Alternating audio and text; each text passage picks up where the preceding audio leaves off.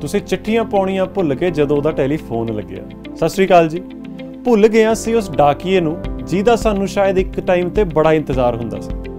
ਪਰ ਹਜੇ ਵੀ ਡਾਕ ਤਾਂ ਘਰੇ ਬਹੁਤ ਆਂਦੀ ਹੈ। ਚਾਹੇ ਆਫੀਸ਼ੀਅਲ ਹੋਵੇ, ਬੈਂਕਾਂ ਦੀ ਹੋਵੇ ਜਾਂ ਹੋਰ ਕੁਝ ਵੀ ਹੋਵੇ। ਸੋ ਡਾਕੀਆ ਤਾਂ ਹਜੇ ਵੀ ਹੈਗਾ। ਸ਼ਾਇਦ ਅਸੀਂ ਉਹਨੂੰ ਉਨਾ ਪਿਆਰ ਨਹੀਂ ਕਰਦੇ। ਸੋ ਅੱਜ ਇੰਗਲੈਂਡ ਦੀ ਇੱਕ ਕਹਾਣੀ ਦੱਸਣ ਲੱਗਾ ਜਿੱਥੇ ਬਹੁਤ ਪਿਆਰ ਕੀਤਾ ਇੱਕ ਡਾਕੀਏ ਨੂੰ। ਉਹਨੂੰ ਬਹੁਤ ਪ੍ਰਸ਼ੰਸਾ ਤਾਂ ਉਹਦੀ ਹੁੰਦੀ ਸੀ ਉਹਦੇ ਕੰਮ ਲਈ।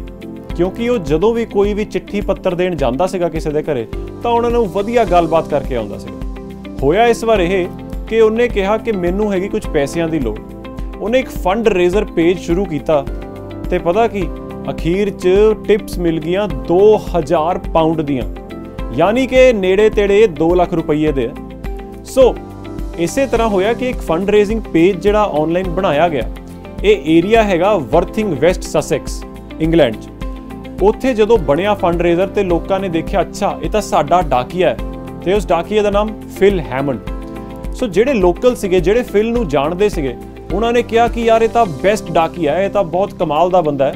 ਸੋ ਸਾਰਿਆਂ ਨੂੰ ਕਿਹਾ ਗਿਆ ਕਿ ਤੁਸੀਂ 100 100 ਪਾਉਂਡ ਜ਼ਰੂਰ ਪਾਇਓ, ਕਿਉਂਕਿ ਫਿਲ ਦਾ ਆਉਣ ਵਾਲਾ ਹੈ ਵਿਆਹ ਤੇ ਉਹਨੂੰ ਹੈ ਪੈਸੇ ਦੀ ਲੋੜ।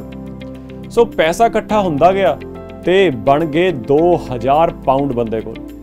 ਫਿਲ ਬਹੁਤ ਖੁਸ਼ ਸੀਗਾ। ਕਹਿੰਦਾ ਮੈਂ ਸਾਰਿਆਂ ਦਾ ਧੰਨਵਾਦੀ ਆ ਮੈਂ ਉਹਨੂੰ ਕਹਿੰਨਾ ਕਿ ਉਹਨਾਂ ਦਾ ਇਹ ਸਾਲ ਬਹੁਤ ਵਧੀਆ ਜਾਵੇ ਤੇ ਮੈਂ ਪ੍ਰਾਊਡ ਆ ਕਿ ਮੇਰਾ ਇਹ ਕੰਮ ਇੰਨੀ ਖੁਸ਼ੀ ਦਿੰਦਾ ਲੋਕਾਂ ਨੂੰ। ਕਿੰਨੀ ਇਹ ਵਧੀਆ ਕਹਾਣੀ ਹੈ ਨਾ।